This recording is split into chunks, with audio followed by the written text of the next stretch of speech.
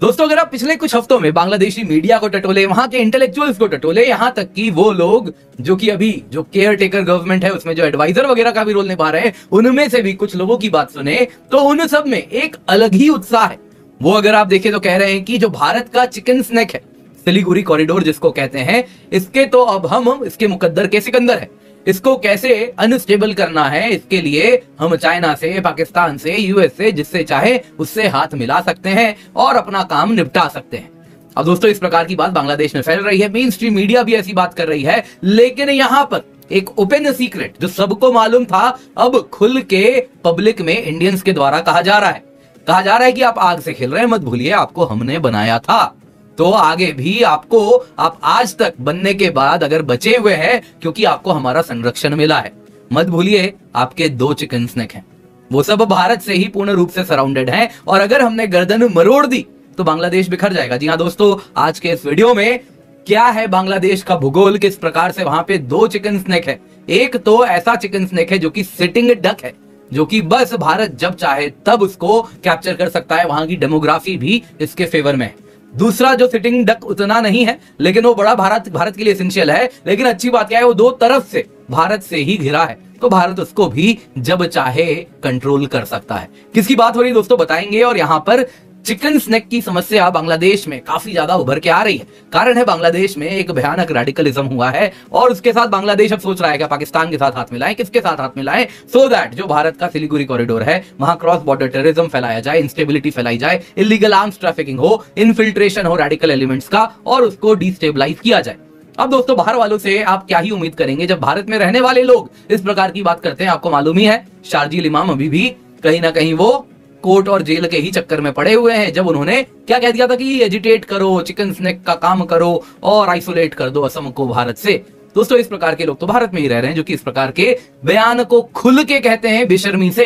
तो अब बाहर वालों से आप क्या उम्मीद करें? आप देख सकते हैं यहाँ पे हसनत, जो कि बांग्लादेशी स्टूडेंट्स प्रोटेस्ट का हिस्सा थे और अभी जो केयर टेकर गवर्नमेंट है, उसमें भी एडवाइजर है। इसने भी इंडिया को कहा चिकन स्नैक के हम ही तुम्हारे अब भाग्य लिखने वाले हैं चिकन स्नैक का। हम ही सब सोचने वाले हैं तो सोच के भारत से, सोच के बांग्लादेश से बातचीत करो। इस प्रकार की बात इन्होंने कही। आप देख सकते हैं, जमुना टीवी का ये न्यूज़ है। ये क्या बांग्लादेश में लिखा है? आपको मैंने ट्रांसलेट करके भी नीचे दे दिया। तो दोस्तों, यहाँ पे बाकी चैनल्स भी हैं बांग्लादेश के, जो इस प्रकार से फ़ोटो वगैरह लगा रहे हैं चिकन स्नैक पे कि हम कंट्रोल करेंगे। और इस प्रकार का जो सेंटीमेंट है चिकन स्नैक को लेकर, वो बांग्लादेश में बड़ा मेन स्ट्रीम होता जा रहा है। जैसे उनको लग रहा है कि कुछ नया हो गया हो। चिकन स्नैक भारत का सिलीगुड़ी कॉरिडोर को अभी अभी बनाओ उनको ऐसा लग रहा है, लेकिन यहाँ पर एविएटर अनिल चोपड़ा जी और अन्य लोगों ने भी सोशल मीडिया पे पाकिस्तान बांग्लादेश को बड़े अच्छे से मज़ा चखाया है।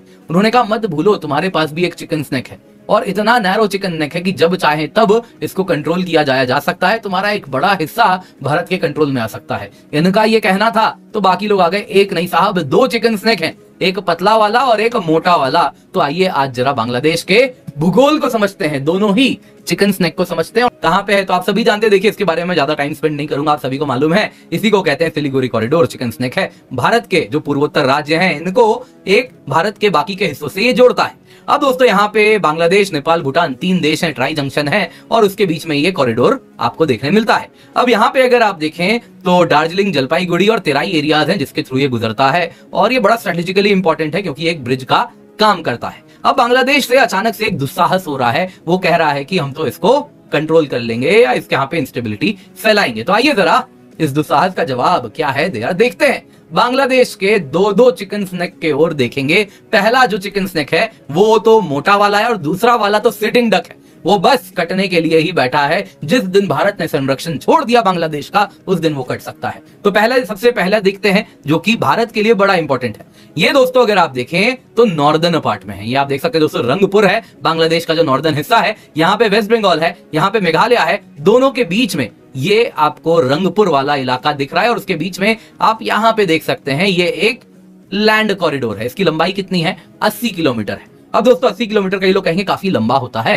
लेकिन मत भूलिए, भारत यहाँ पे दो दो जगह से इसको कंट्रोल कर रहा है। दोनों तरफ़ भारत ही है। तो इसीलिए आप अगर देखें तो एसेंशियली 40-40 किलोमीटर का ही स्ट्रेच है दो तरफ़ से। और जो टेरेन है, पूरा प्लेन टेरेन है। यहाँ पे समस्या होती है बस बरसात के समय।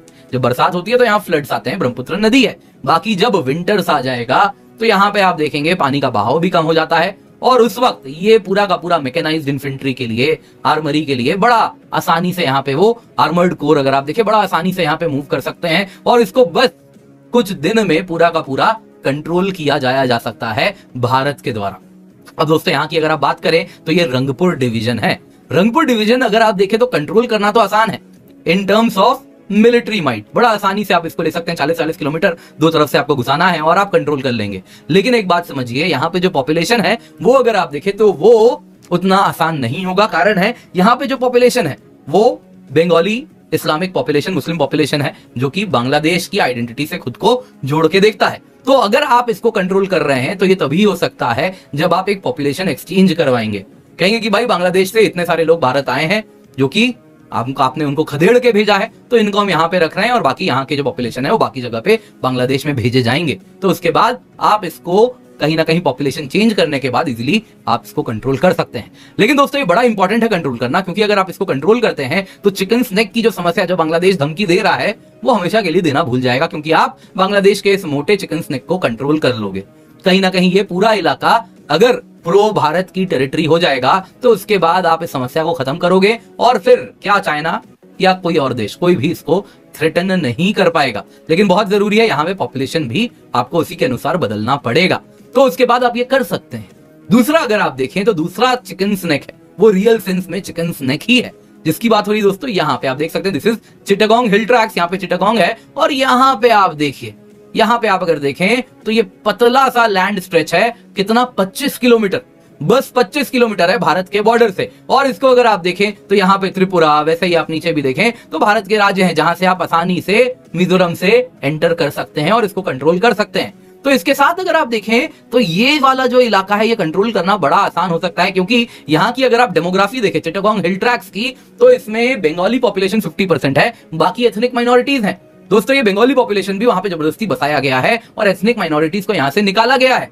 तो एथनिक माइनॉरिटीज को यहाँ पे निकाल निकाल के ये किया गया है और अगर आप देखें तो बंगाली पॉपुलेशन में जो 50 परसेंट दिख रही है, उसमें भी हिंदू पॉपुलेशन काफ़ी सिग्निफिकेंट है टेन है। और यहाँ पे अगर आप देखें तो इसी इलाके से, जब ईस्ट पाकिस्तान का दौर था तो चकमा, हजोंग कम्युनिटी को बसाया गया था भारत में। यहाँ से वो छोड़ छोड़ के आए थे, जब उनको प्रोसिक्यूट किया गया था। तो वो सब भारत में रह रहे हैं तो ये इलाका अगर आप देखें तो बड़ा आसानी से भारत कभी भी चढ़ाई करके कंट्रोल कर सकता है। केवल 26 किलोमीटर है दोस्तों। ओनली 26 किलोमीटर पॉपुलेशन भी भारत के फेवर में ही है।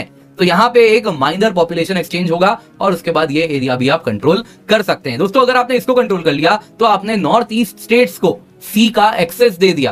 असलम दोस्तों, बांग्लादेशी सारे लोग अब ट्विटर पर ये लिख रहे हैं कि चिकन नेक हमारा हो गया है। चिकन नेक वो जगह है जहाँ पर भारत आकर एक मुर्गे की गर्दन की मानद दोस्तों बिल्कुल कमज़ोर हो जाता है, पतला हो जाता है। आप हैरान हो जाएँगे कि यहाँ पर जो चौड़ाई है भारत की, वो तकरीबन 22 किलोमीटर है। यानी एक तरफ़ से तो भूटान है और नेपाल है और दूसरी तरफ़ से बांग्लादेश है। यहाँ पर बाईस किलोमीटर का इलाका आप अगर गाड़ी पे जाए तो दोस्तों पच्चीस मिनट का ये रास्ता है। एकदम में दूसरा मुल्क आ जाएगा और एकदम में तीसरा मुल्क आ जाएगा, इतनी कमज़ोर जगह है और हमेशा से चाइना इस जगह पर नज़र बनाए रखा हुआ है। यहाँ पर उसने नेपाल वाले इलाके पर काफ़ी ज़्यादा इंफ्रास्ट्रक्चर बना दिया। दूसरी तरफ़ भूटान से ज़मीन खरीदने की कोशिश की, लेकिन भारत ने मना कर दिया था। अब देखें कि रजीम चेंज हुई है बांग्लादेश में और चाइना ने कहा है कि वो अब सीस्ता नदी जो बिल्कुल नज़दीक है चिकन नेक से, वहाँ पर वो बाँध बना रहा है। यानी चाइना इतना करीब हर तरफ़ से आ चुका है और अब बांग्लादेशी लोग ये लिख रहे हैं कि चिकन नेक अब हमारा हो चुका है। चिकन नेक पर हम अब कब्जा करके भारत की जो सात रियासतें हैं उन्हें अलग करने का दम रखते हैं। और दोस्तों, बहुत ही आसान होगा बांग्लादेश के लिए और बांग्लादेश को इसके लिए सपोर्ट चाहिए होगी। क्योंकि अब भारत कह रहा है कि अगर बांग्लादेश हमारी चिकन नेक पर कब्जा करता है तो दो चिकन नेक बांग्लादेश की भी बनती है। ये बहुत चौड़ाई वाले इलाके हैं, लेकिन दोस्तों, वो फजूल की बकवास कर रहे हैं। वो आएँगे तो चिकन नेक के ही तरफ़ से, यानी अगर बांग्लादेश के कुछ इलाके कब्जा करना चाहते हैं भारतीय तो वो उन्हें चिकन नेक से होकर सिलीगोली कॉरिडोर फिर नागालैंड, मणिपुर से होकर आना पड़ेगा और फिर वो आकर करते हैं। और मणिपुर और नागालैंड में तो हालात ऐसे हैं कि इंडियन आर्मी वहाँ पर जा ही नहीं सकती। ड्रोन फुटेज से दोस्तों वहाँ पर बमबारी करते हैं। वहाँ पर कुकी लोग हैं जो उन पर